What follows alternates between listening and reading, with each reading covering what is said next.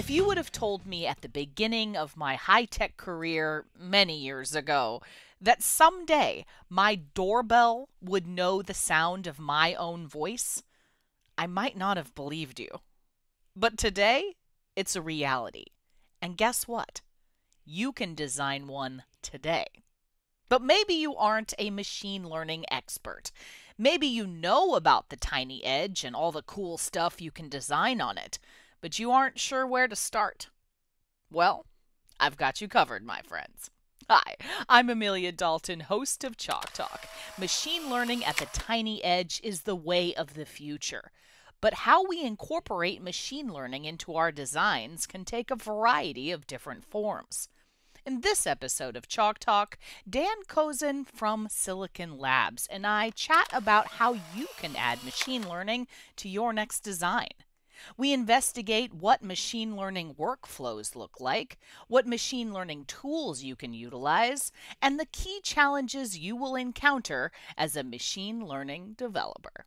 And before we get started, don't forget to click that link. There you can find even more information about this topic from Silicon Labs. Hi, Dan. Thank you so much for joining me. Hi, Amelia. Thanks for inviting me. So, Amelia, you know, I want to tell you a little bit about machine learning. So, we all hear of artificial intelligence and machine learning as two terms commonly used in similar context. And the intelligence is being implemented all up and down the stack. Most commonly, we hear of artificial intelligence being implemented in the cloud, where smart things happen, like natural language processing or medical image analysis or even credit card fraud. Where Silicon Labs fits specifically, I'm going to explicitly say it's machine learning at the tiny edge. So, Dan, what is the tiny edge and why is machine learning there? So, what's happening is the intelligence is being pushed down closer to the actual source of the data. That's the tiny edge, the very, very bottom of this diagram. It's at the end point it's the light switch, it's the video doorbell, it's the cold chain monitor, it's the wind turbine sensor. You want to apply your analysis with machine learning right at the data source. Instead of sending that data to the cloud, it's much, much more efficient if you can analyze the data right at the source. Once you're processing at the source, the benefits multiply. Reducing latency, conserving bandwidth, improving privacy, and even reducing costs are just some of the advantages Plus, you deliver a smarter application. With these advantages, it's no wonder the projections for devices running machine learning at the tiny edge are growing from a half billion to 2 billion devices in just the next four years.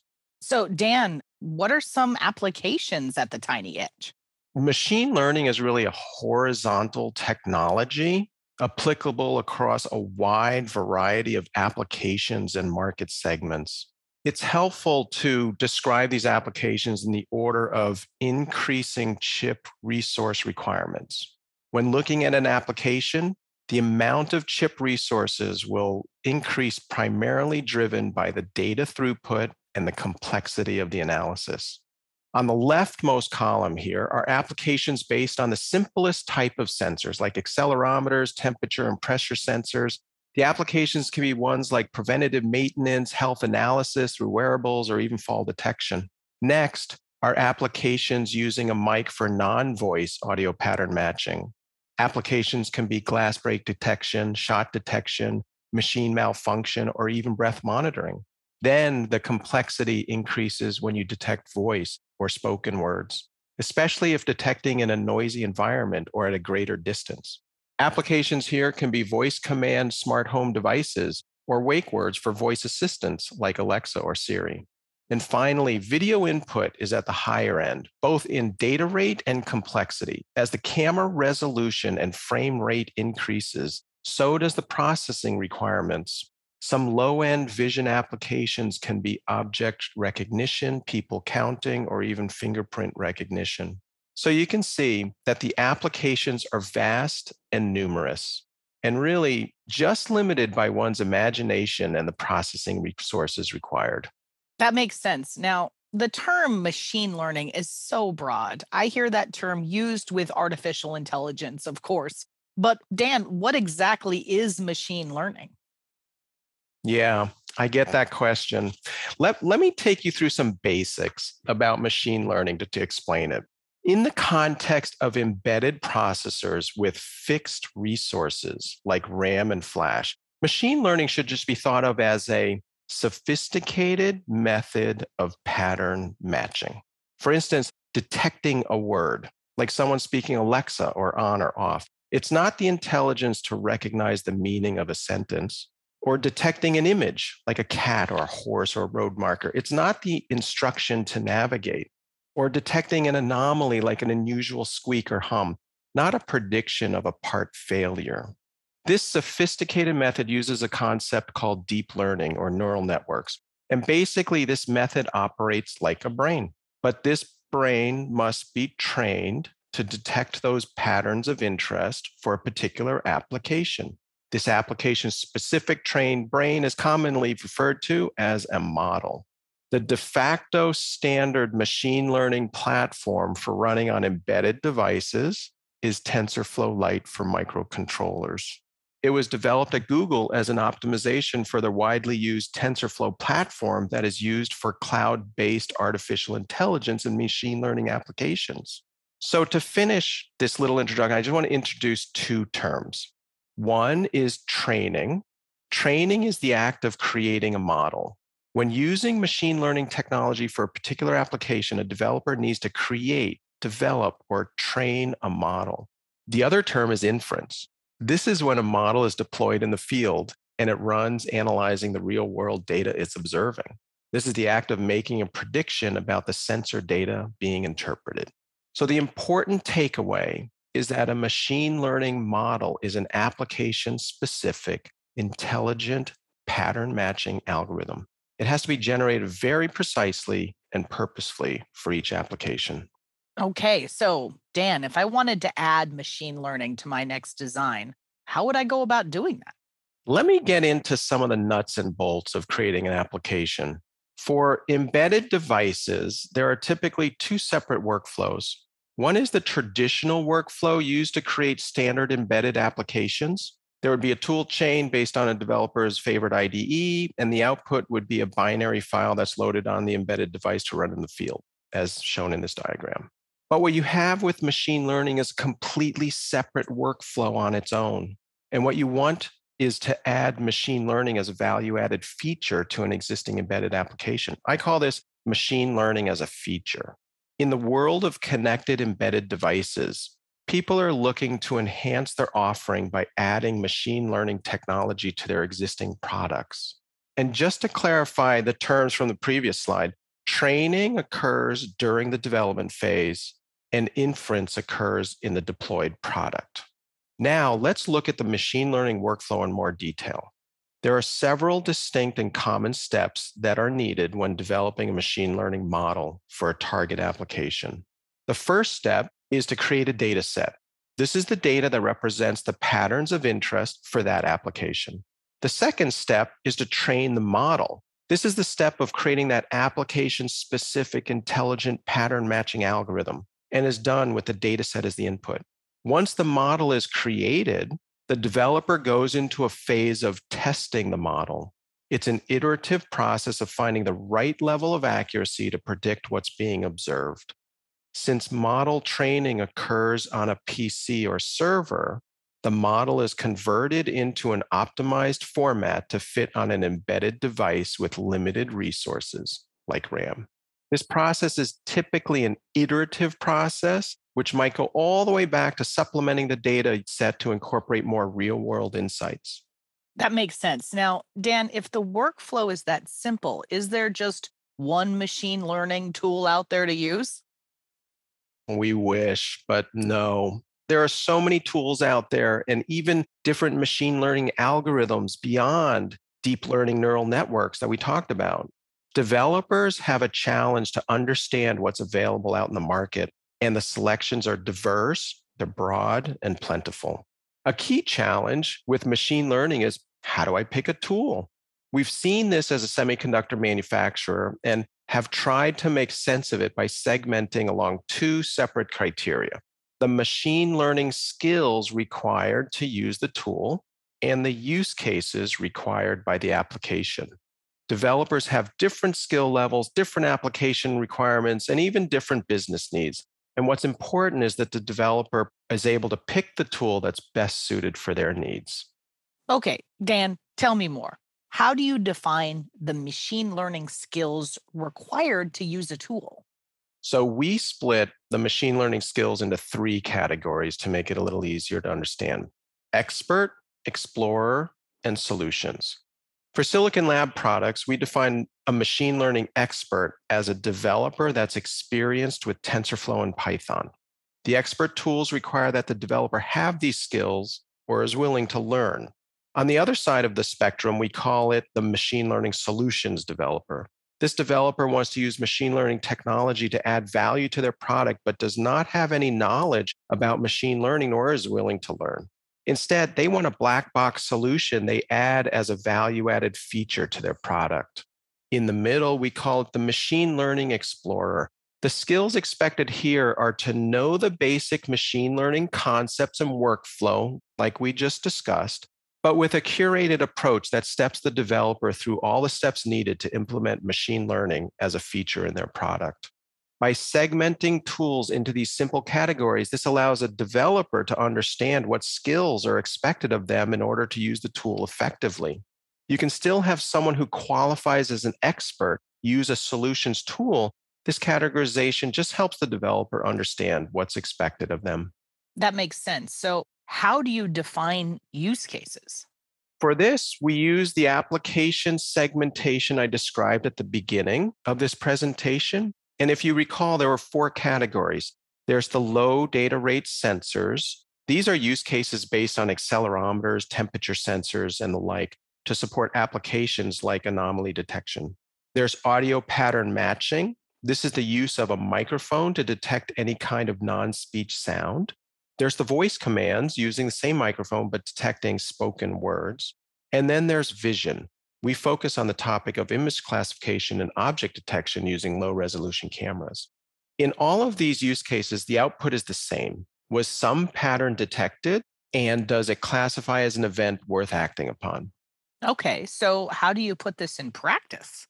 Here's how the two views are combined. We use a table that I'll populate with some of the machine learning tools we support on our chips. What you'll see is how the different tools are applicable to their appropriate use cases, as well as the machine learning skills needed to use the tool. For low rate sensors, there is TensorFlow for the expert, and there are Explorer tools that support those use cases. For audio pattern matching, you'll notice that Micro AI is not on the list, but the Silicon Labs machine learning toolkit is. For voice commands, you'll notice that Sensory is added as a solution provider where no machine learning knowledge is required. And finally, for low resolution vision, not only TensorFlow is available for the expert, but Edge Impulse has some sophisticated object detection modules in their Explorer tool. Okay, so Dan, is that the only challenge for machine learning developers finding an appropriate tool? There are other big challenges that face a machine learning developer for tiny ML devices. Let's start with the machine learning workflow we covered earlier and see how these challenges line up. First, and probably one of the most significant challenges, is to create a high quality data set that is used for training that application specific model. The data set used here will be directly related to the quality of the model running its inference in the field. I can't stress this enough that developers need to treat this as one of the most important aspects of creating a model. In fact, just recently, Pete Warden, who's probably considered the father of TinyML, or machine learning at the tiny edge, just posted his thoughts on his blog about how important the data set is. Treat your data like source code. The next challenge takes a while to fully understand and embrace. This one has to do with the mechanics of training a model versus running inference in the field.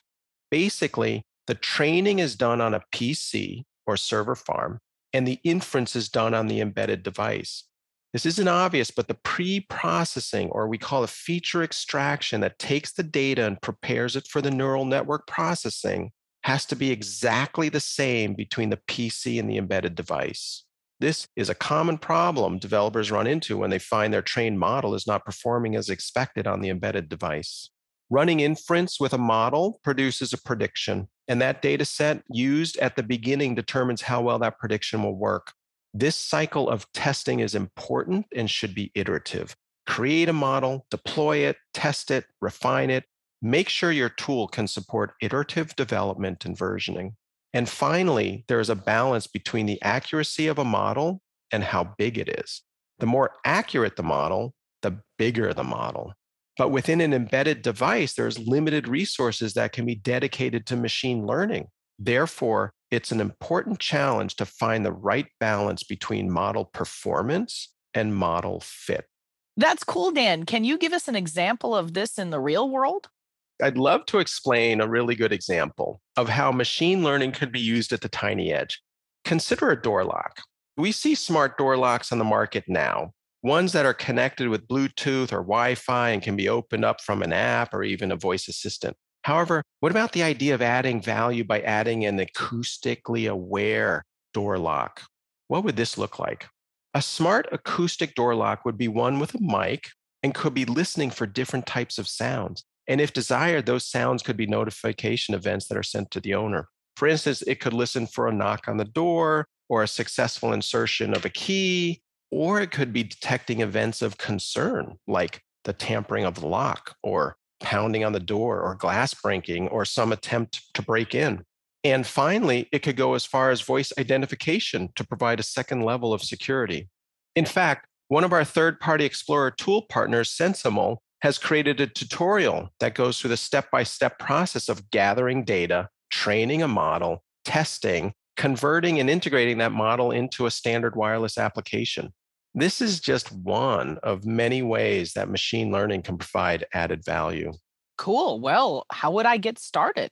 First thing is to create your proof of concept with our recently introduced XG24 Dev Kit. We've made this dev kit very applicable for machine learning applications. It includes the MG24 wireless SoC with the integrated AIML hardware accelerator, plus a host of different sensors for all kinds of tiny ML applications. You create your basic wireless application like Bluetooth or Zigbee door lock. Then explore the silabs.com machine learning landing page to find out what tool is most applicable for your needs. In the example I just talked about, you may want to pick SensiML because of their closely related tutorial on a smart acoustic door lock. All of these machine learning tools support ML as a feature, so you can choose the one that fits your skills and your application needs. Once you've created and integrated your machine learning model into your application, you can test and deploy your proof of concept for some real world testing. All right. Well, Dan, this has been a lot to take in today. Can you recap your main points for me? I'd love to. So, just to summarize with some things to remember about the benefits Silicon Labs brings to machine learning. We have the widest portfolio of wireless protocols that can be combined with machine learning for TinyML devices. We have the first wireless SoC with an integrated hardware accelerator enabling low energy applications with machine learning. We have a wide range of tools that fit the needs of the developer. And finally, we support a diverse set of use cases, including low rate sensors, audio, voice, and low resolution vision. We provide an end to end machine learning solution for wireless IoT tiny edge devices. Well, Dan, I think that's all I have time for today. Thank you so much for joining me. Thank you, Amelia, for having me, and I enjoyed it very much. And before we go, you didn't forget to click that link, did you? There you can find even more information about this topic from Silicon Labs. For Chalk Talks, I'm Amelia Dalton from eejournal.com. For more Chalk Talks, head on over to the Chalk Talk section of EE Journal. You can't miss it, it's right across the top. Or check out YouTube, youtube.com slash EE Journal.